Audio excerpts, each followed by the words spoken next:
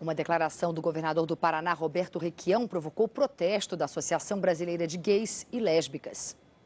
Eu chamaria o Gilberto Martins, que vai, num espaço reduzido de tempo, anunciar a implementação de ações estratégicas para o controle do câncer. Quer dizer, a, a ação do governo não é só em defesa do interesse público, é da saúde da mulher também.